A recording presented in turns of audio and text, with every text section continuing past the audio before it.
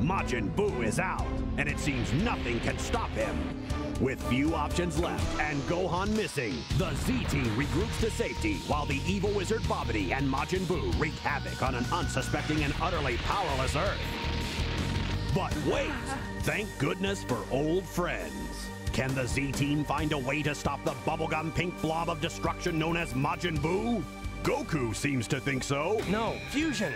But will his plan work? Find out on the new Dragon Ball Z releases, Revival and Tactics, coming soon from Funimation.